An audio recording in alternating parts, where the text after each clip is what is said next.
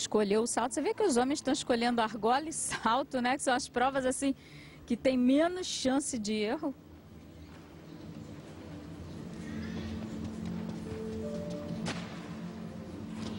Olha, belo salto. Tsukahara, mortal com dupla pirueta e meia. Tem um valor de dificuldade bom esse salto e ele tem uma execução boa também, hein? Olha só. Na entrada ali ele afasta um pouquinho só as pernas, mas durante os giros o corpo dele está todo esticado, as pernas juntas.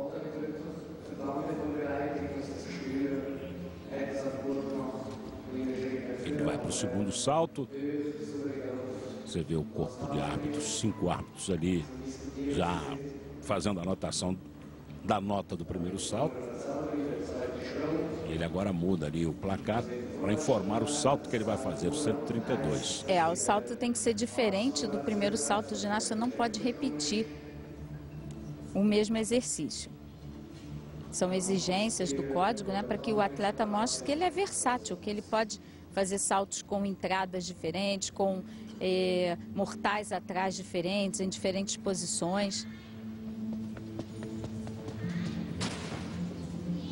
E aí ele faz a reversão mortal para frente esticado com o meio giro. Aplaudido ali pela Larissa Iordati. Essa dupla aí também deve se manter, hein? Até agora me parece as mais fraquinhas a dupla 2 da Suíça.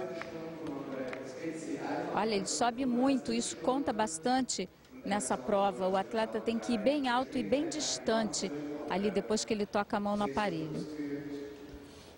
Nós vamos agora para uma segunda etapa, que vão as cinco primeiras duplas vão se apresentar na ordem invertida, da quinta para a primeira. Então vamos ter a Suíça 2, Itália, Alemanha, Grã-Bretanha e China.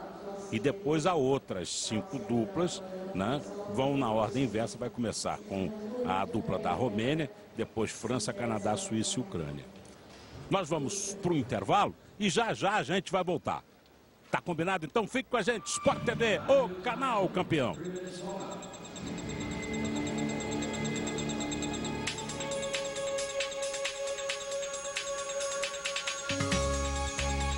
Uma defesa, um drible, um gol. O cara, cara, olha o gol! Um